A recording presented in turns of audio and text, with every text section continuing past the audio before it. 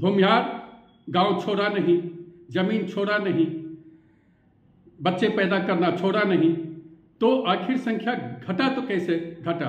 नमस्कार, आप देख रहे हैं न्यूज़ फॉर नेशन और मैं हूँ प्रियदर्शन। बिहार में जातीय गणना की सर्वे रिपोर्ट भी आ चुकी है और इस सर्वे रिपोर्ट के आने के बाद एक बड़ी बात यह सामने आ रही है कि कई जातियों को यह आपत्ति है कि हमारी जो गणना इसमें सामने आई है, वह गलत है। और ऐसी ही आपत्ति भूमिहार जाति से आने वाले कई नेता भी कर रहे हैं, आम लोग भी कर रहे हैं कि आखिर जिस जाति की आबादी 1931 के जातीय गणना के दौरान ज़्यादा थी, उस जाति की गणना जब वर्ष 2023 में होती है तो उसकी संख्या कम कैसे जाती है? और इसी को लेकर के अब भारतीय जनता पार्टी ने नीतीश सरकार पर कई गंभीर आरोप लगाए हैं।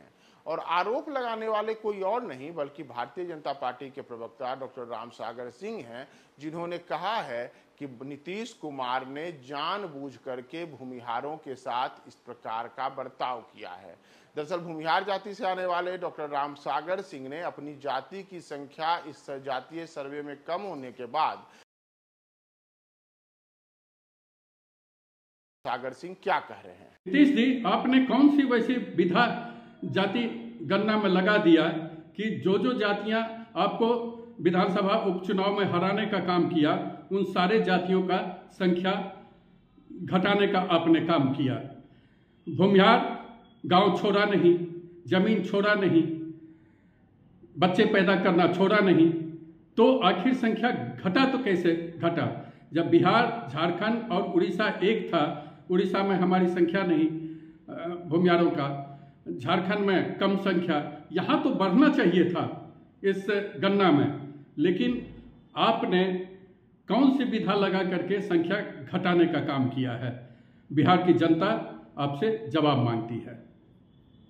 दरअसल बिहार में अगर हम बात करें तो सामाजिक और राजनीतिक रूप से भूमिहार काफ़ी सक्रिय रहते हैं। ऐसे में जाति सर्वे से पहले तक भूमिहार की आबादी को लेकर के जो दावा किया जाता था, उसे सर्वे रिपोर्ट में बड़ा झटका लगा है।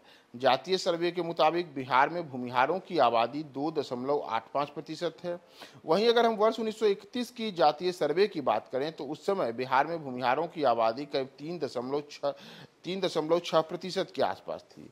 ऐसे में आबादी में हुई इस बड़ी कमी को लेकर के भूमिहार जाति के कई नेता सवाल उठा रहे हैं। और ऐसा ही सवाल अब भाजपा ने भी उठाया है और नीतीश सरकार को कटघरे में खड़ा किया है।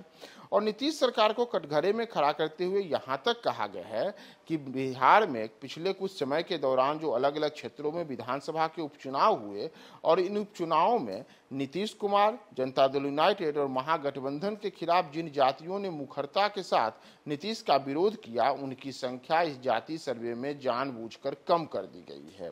और इसे लेकर के ही भाजपा ने नीतीश कुमार से पूछा है कि आखिर नीतीश कुमार ऐसी कौन सी विधा जानते हैं जिसमें भूमिहार की आबादी बढ़ने के बजाय घट गई। अगर हम बिहार में की सियासत में भूमिहारों की बात करें तो मौजूदा समय में बिहार में जो भूमिहार हैं, वह राजनीतिक तौर पर तमाम दलों में सक्रिय हैं। मौजूदा समय में बिहार में जो विधानसभा है, वहाँ भूमिहारों की बिरादरी के करीब 21 विधायक हैं। वहीं तीन लोकसभा के सांसद हैं। इसके अलावे अगर हम भारतीय जनता पार्टी के जो मुख्य विपक्षी दल है, उसकी बात करें तो यहाँ नेता प्रतिपक्ष के तौर पर विजय कुमार सिन्हा भी भूमिहार जाति से आते हैं।